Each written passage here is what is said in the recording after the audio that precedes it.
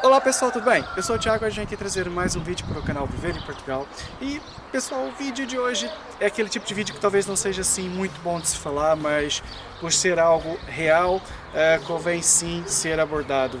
Aliás, hoje em dia falar sobre aluguel ou arrendamento né, é, aqui na região de Lisboa é algo bem complicado e bem sensível. Mas vamos lá então Antes de eu começar a falar sobre esse tema, não se esqueça de clicar no gostei, que isso ajuda mesmo muito o canal. É... Compartilhe o vídeo com seus amigos, comentem bastante, eu leio sempre todos os vossos comentários e se inscreva, ok? Bom, mas então vamos lá falar sobre esse tema, sobre aluguel aqui em Portugal.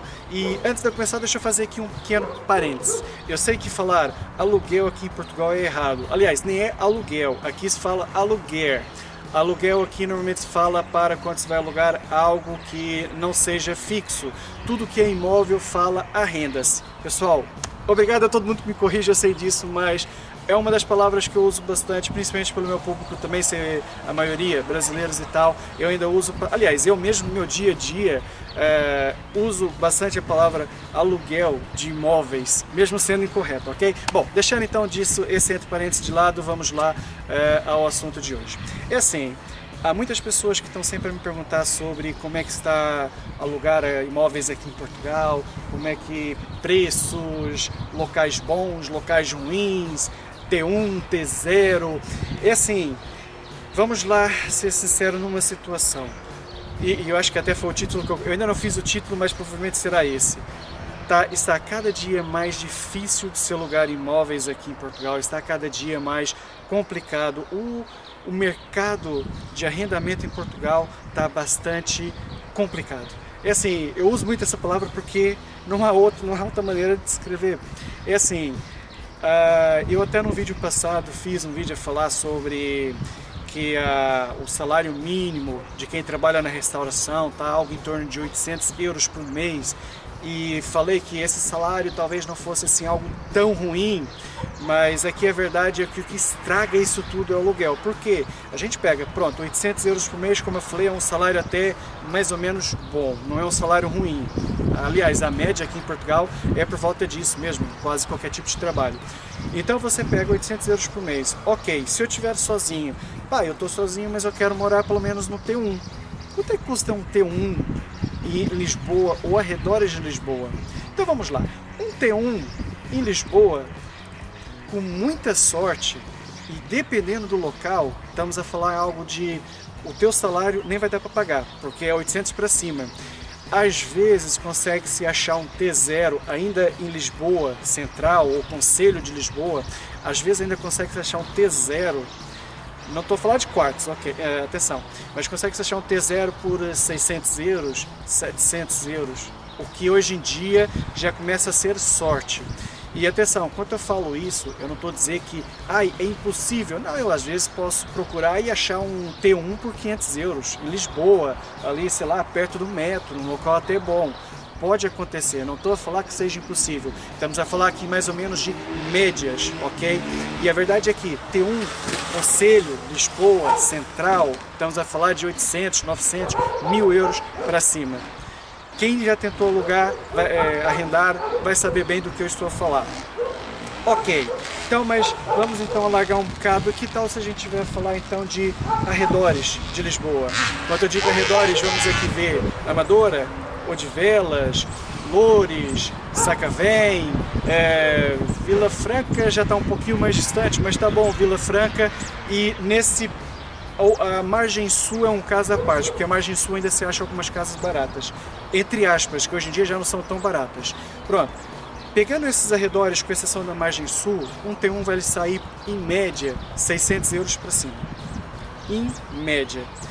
Ah, mas ah, existe locais assim, Cacém, Rio de Mouro, linha de Sintra, ponto, linha de Sintra, eu já consegui ter um lá por 500 euros, consegue -se. Hoje mesmo manhã eu tive que fazer minha pesquisinha, minha pesquisazinha sobre imóveis e realmente achei um T1 eu não sei se aquilo era bem Cacém, Rio de Moura, era para ali para aqueles lados que a pessoa não, não conseguiu assim descrever bem onde é que era.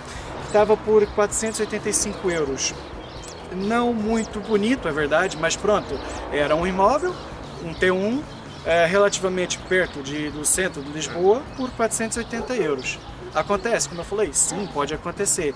Agora, você quer falar em médias, 600 euros para cima. E agora vamos lá voltar para aquele caso daquela pessoa que trabalha ali na restauração, às vezes 10 horas por dia, é, só descansa um dia por semana e consegue tirar os seus 800, com sorte 900 euros por mês e quer morar no T1 sozinho. Vai pagar 600 euros talvez por morar aqui na, em Odivelas, perto do metro, com muita sorte que perto do metro não vai achar vai morar na linha de Sintra, que tem um comboio, talvez ali sim se consiga achar um T1 por, eh, por esse valor. Vai morar aqui na minha região, em Loures, por 600 euros. Um T1 talvez também se consiga, até relativamente. Não não vou falar fácil porque não é fácil alugar, ok? Não está fácil. Mas consiga. Ok, se ele ganha 800, 900 euros por mês e vai pagar 600 euros no T1, sobra 300 euros por mês para ele. Então, comida, é, comida, é, água, eletricidade, internet, passeiozinhos, um cineminha e jantar fora, dar uns beijinhos, dar um rolê com a namorada. Como é que fica? 300 euros vai dar para isso tudo? Não vai. Portanto, essa pessoa obrigatoriamente vai ser empurrada para um quarto. E um quarto ou de velas um quarto talvez consiga se alugar pelos seus 350 euros.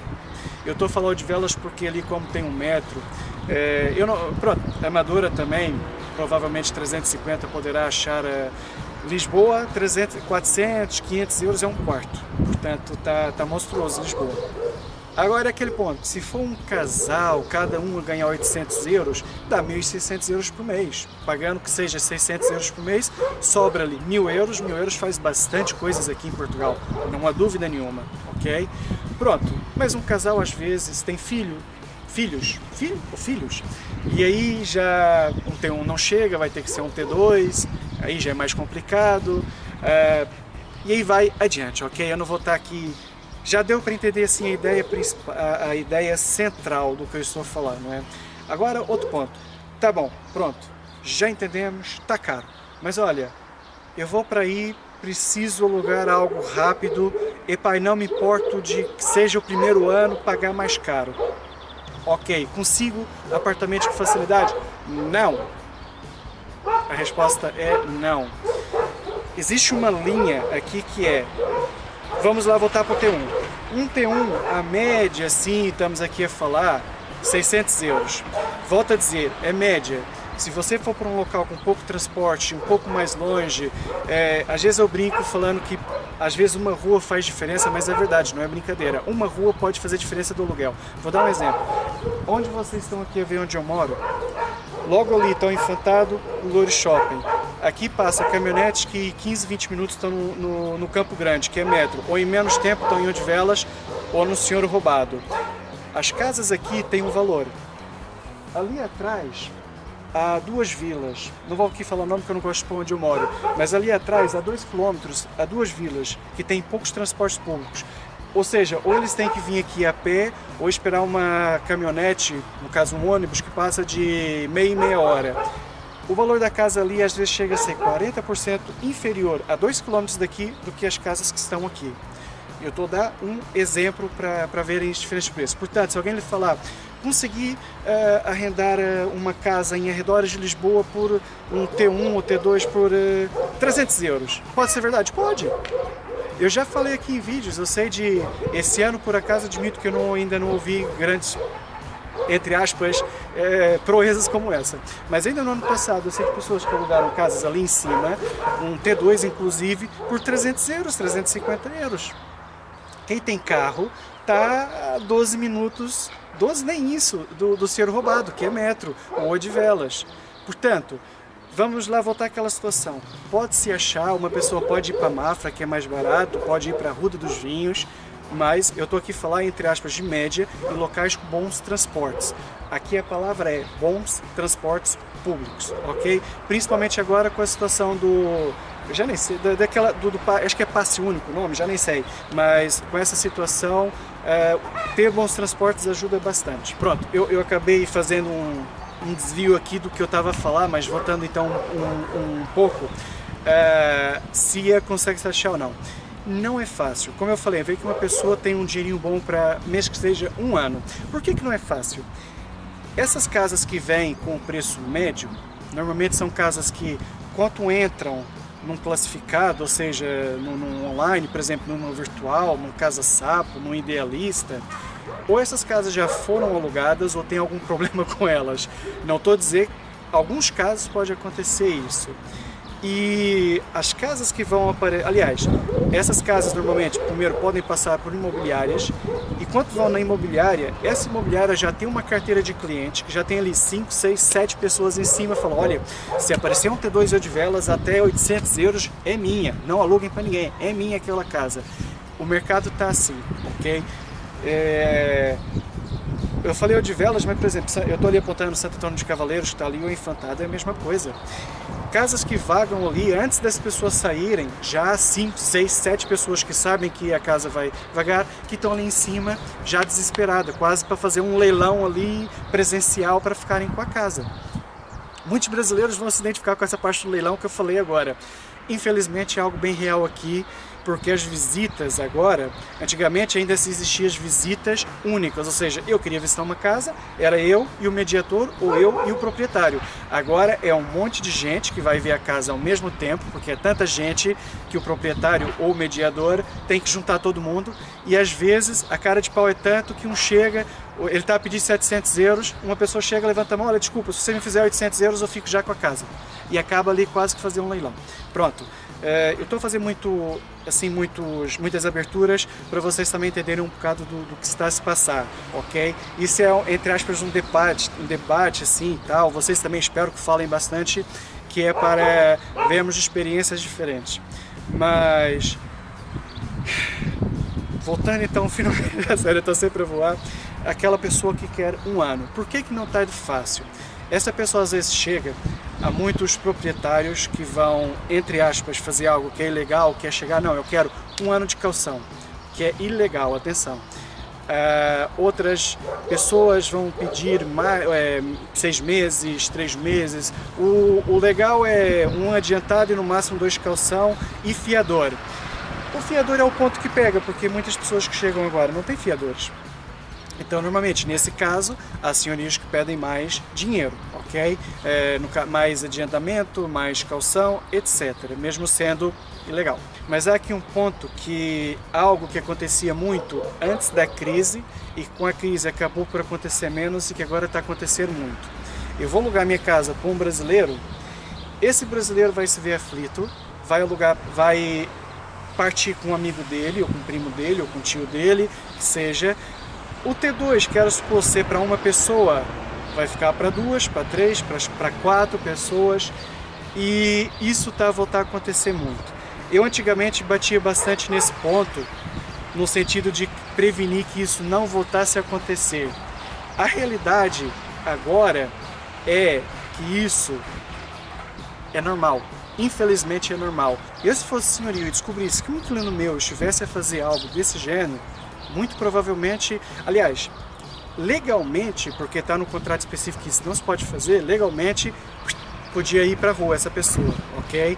Uh, na pior das hipóteses, a pessoa que está alugar e uh, arrendar aquele imóvel iria falar com o senhorio, olha, esse arrendamento está muito pesado para mim. Seria possível, eu tenho um amigo, vamos cuidar bem da casa, seria possível a gente ficar os dois e repartir a renda? Se o senhorio aceitar, espetáculo, maravilha. Não é isso que tem acontecido. O que eu vejo acontecer o pessoal falar e até falar assim, como se estivesse a fazer uma coisa bonita é eu consegui alugar uma casa por 400 euros, um T2, já coloquei em cada quarto uma família, tô, cada um tão pagar 300 euros ainda estou a ganhar 200 euros. Eu ouço pessoas a falar isso de boca cheia como se fosse uma coisa bonita. Isso só vai dificultar a vossa vida. Vocês brasileiros que estão chegar agora, esse tipo de situação só vai dificultar. Ó, oh, Thiago, mas se não fosse assim, é impossível. É exatamente isso que estamos a falar aqui agora. É bom falar a realidade para as pessoas terem noção também do que se pode ou não fazer. É assim, você quer vir, quer fazer o errado, quer manchar ainda mais a nossa reputação, quer ser mesmo aquele brasileiro que os portugueses falam, pá, brasileiro cachorro, pilantra, quer ser isso, venha e faça isso. Epá, não quer, quer vir certinho, Então, tenha atenção, tenha bastante cuidado, porque quando você chegar aqui, o aluguel vai ser. Arrendamento aluguel vai ser uma coisa pesadíssima. Tá? Eu não, que, sirva, não, que esse vídeo não sirva como, entre aspas, uma facada a ninguém, mas tá difícil. É assim. Uh, eu, eu sempre faço, eu já cinco vezes que falei isso, mas pronto. Uh, as casas que talvez brasileiros vão conseguir alugar facilmente, façam um teste agora. Vão www.imovirtual.pt ok? www.imovirtual.pt Pode ser casa.sapo.pt ou idealista.pt qualquer um desses. Vou lá e faço um teste. Escolhe assim, é, sei lá, não vou falar o distrito de Lisboa, mas o, o, Conselho de Louros, por exemplo, o Conselho de Odivelas, até Odivelas eu gosto de falar bastante. Vamos pegar Conselho de Odivelas, coloca lá, procurar apartamentos, arrendamento, Conselho de Odivelas e coloca lá o valor. Você vai ver que provavelmente vai ter ali em Odivelas, falando assim por alto, uh, a Roja. A Roja, como é um dos lugares assim mais baratuchos dali, você vai ver 400, 450, depois vai subir para 500, 600 euros. Você vai ver, muitos desses já estão alugados ou não estão disponíveis ou não vão alugar para brasileiros. Aí você passa a maioria desses que tem esses contras, você vai chegar em T1 800 euros, T2 a 1000 euros, em Odivelas, atenção, no que eu estou falando, Odivelas, T, T3 a 1.200 euros, vocês só vão conseguir alugar facilmente esses. Por quê? Porque pá, são preços irreais. Um T1 em Odivelas por 800 euros é, 800 euros é maluquice. Uma pessoa na sua sã consciência jamais iria alugar um apartamento, um T1 de velas, por 800 euros. Pronto, Colinas do Cruzeiro eu perdoo, que ali é bom. Mas o de velas, o resto, 800 euros é impensável. Por um T1, atenção. Agora, uma pessoa que está desesperada e que precisa, ou seja, como já me falaram, como já pessoas que mandaram mensagem já falaram, Thiago, se eu não consigo alugar uma casa essa semana, semana que vem eu vou ter que voltar para o Brasil. Se acontece um caso como esse, você vai ter que alugar essa casa por 800 euros. É uma maluquice, mas vai ter que ser. Portanto, o que entre aspas eu estou aqui a querer dizer, eu querer vos preparar é querem vir e fazer tudo bem, maravilha, mas também tenham noção da realidade aqui de Portugal. Eu estou a dizer aluguel, mas é assim, Existem hostels que você vai conseguir mais barato. Existe, isso agora eu estou falando de coisas legais né, que você pode fazer. Se você inicialmente quiser se sujeitar a isso, existe até hostels que num quarto tem beliche, então quatro pessoas, oito pessoas, um quarto grande às vezes, com um monte de beliche, oito pessoas. Se você quiser se sujeitar isso, é claro que vai sair mais barato. Talvez um quarto desse para oito pessoas, sei lá, vai sair. Agora eu estou falando por alto que eu não faço a menor ideia, 200 euros? Não sei. Mas 200 euros para o início é aceitável. Isso agora é assim, eu, Thiago, o que eu acho, o que eu penso. Não é regra geral e nem o que eu quero que ninguém faça, mas eu, na minha consciência, preferia ir para um quarto com seis pessoas do que alugar malandramente um T1 ou um T2 e subalugar para outras pessoas. Eu, atenção, cada um faz o que quer. Volto a dizer, epa, se eu fizer isso vai dar cadeia? Não, é claro que não. Se eu fizer isso eu vou levar alguma multa? Não, senhor um senhorio, provavelmente, no máximo, vai ficar com a sua calção, porque alegando que você estragou mais a casa. E atenção, isso eu estou falando no máximo, porque mais do que isso o senhorio também não pode fazer. O senhorio não pode te cobrar nada extra por você ter lá pessoas a mais. O senhorio não pode colocar na rua, ele até pode. Não é assim tão fácil, mas consegue, ok? Consegue se colocar na rua mas não pode aplicar multa, não pode prender, não pode fazer uma queixa, não pode fazer nada disso. No máximo, houve uma quebra de contrato, pronto, amigo, você quebrou o contrato, peço desculpa, vai ter que sair da casa. É assim, existem vários motivos para eu estar a fazer poucos vídeos ultimamente. Vou, vou ser assim bastante sincero num ponto. Eu tento voltar a fazer vídeos com mais frequência, mas a falta de assunto às vezes é um ponto dar sempre má notícias é outro ponto. Porque assim, é claro que eu gosto de fazer vídeos para, entre aspas, vos alegrar, fazer aquele tipo de vídeo. Portugal precisa desesperadamente de imigrantes. Eu fiz esse vídeo porque era uma notícia real. Ou fazer o vídeo. Uh, Portugal precisa entre 60 mil a 80 mil trabalhadores para construção civil. É real. Também Portugal precisa. Ou também fazer Portugal é o terceiro país mais seguro do mundo. É verdade, Portugal é o terceiro país mais seguro do mundo. Ou fazer você com, sei lá, 150 euros por mês consegue fazer compras e passar o mês inteiro só com esse dinheiro. Também pode ser verdade. Entre aspas, não é? 150, eu penso que sim, uma pessoa sozinha com 150 consegue fazer compras mensais e se aguentar. Portanto, eu podia estar sempre a fazer esses vídeos bonitinhos, vídeos só para vos alegrar, aquela coisa gostosa de se ouvir. Eu faço, faço, quanto eu acho que justifico fazer. Só que assim, muitas das vezes são mais vídeos sobre coisas ruins que boas. E às vezes são tantas coisas ruins que eu prefiro nem fazer vídeo. Quem acompanha há uma situação que quem acompanha muitos muitas páginas do Facebook brasileiros em Portugal uh, Realidade Portuguesa, Ama Portugal, Partiu Portugal. Se eu esquecer de alguma, podem colocar aí. Eu costumo acompanhar quase todas, atenção. Uh, não, não acompanho assim todos os dias, estou ali a ler tudo, mas de vez em quando vou lá ler algumas coisas. E eu noto uma guerra entre o pessimismo e, e o. Qual é o contrário do pessimismo? Positivismo. Pronto, agora deu uma branca, peço desculpa, mas entre o pessoal que acha que é uma desgraça morar em Portugal e o pessoal que acha que é um sonho morar em Portugal. Ou, ou, um sonho no sentido de ser tudo bom, aquele tal conto de fadas que a gente, que a gente fala. Na verdade, nenhum dos dois lados está certo. É uma mistura. Porque há, há pontos ruins e há pontos bons, ok? Os dois lados que são extremistas estão errados. Não há aqui o que falar. Mas a verdade é que, assim, esses dois lados estão numa guerra tão grande que algumas dessas páginas que eu mencionei já até quase que existem só para falar mal das coisas ruins aqui de Portugal. Outras quase que já excluíram todos que falam mal e só deixam aqueles que falam bem, que falam coisas boas. O que eu acho que não, não, não, não deveria ser assim. Eu acho que experiências são sempre positivas.